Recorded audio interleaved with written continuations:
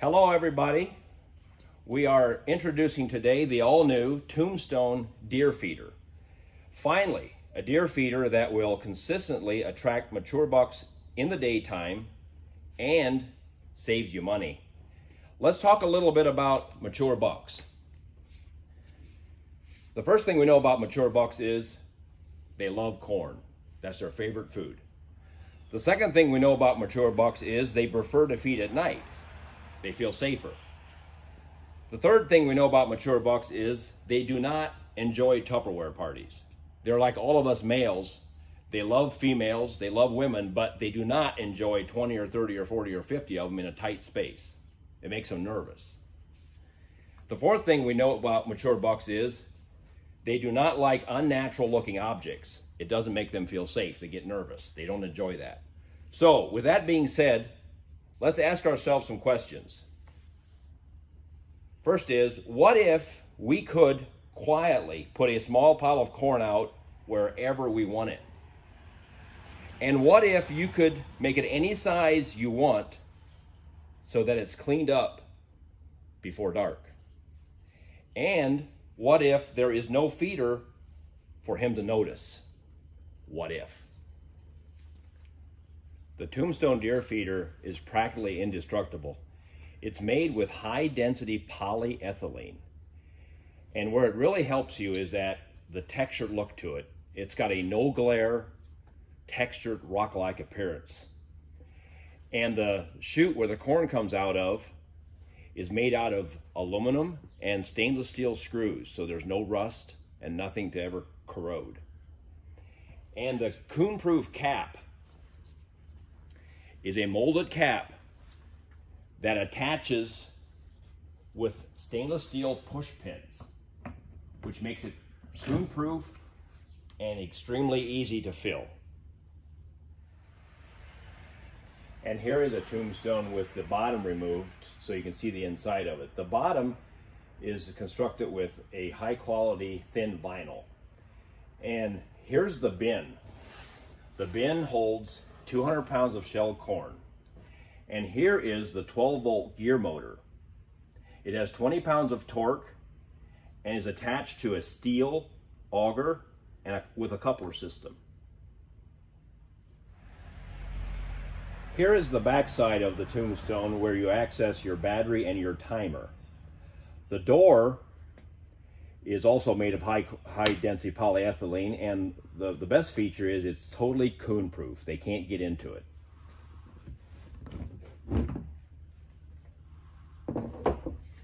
Here is where the anytime, any duration timer gets plugged into. This wire is attached to the motor.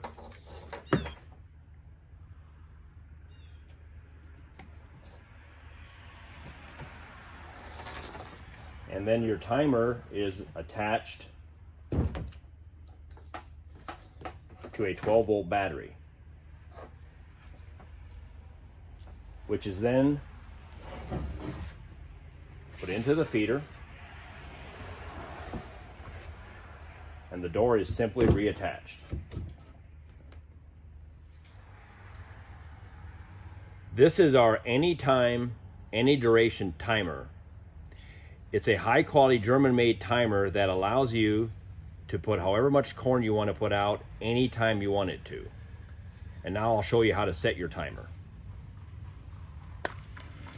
The first thing you need to do is set the clock. You put the upper right switch on clock and you hit the hour button until the hour is correct. Make sure your AM and PM on the left side is correct. And then press your minute button to adjust your minute. Once your time is set, then simply put the upper right hand switch on P, which is your timer settings. What this does is this shows what time your feeder will turn on. It shows a light bulb on the screen and the number one. You turn your hour until again, it's what time you want it to turn on. I'm setting it for 3 p.m. It shows p.m. and it's 3 o'clock, and it's the number 1, which is when your first time it turns on. And then you're set your minutes. I'm going to adjust it to turn on at 3.02 p.m. And then also you need to adjust your day of the week. You press your 1 to 7 button, and I'm, what I'm doing is I want to set every day. So I'm, I'm pressing it until all the days are lit up. Now your timer will turn on, your feeder will turn on at 3.02 every day of the week. So now you simply press your P button on the up lower left side again, and that is now your number two time, which is when your feeder turns off. So I will simply set it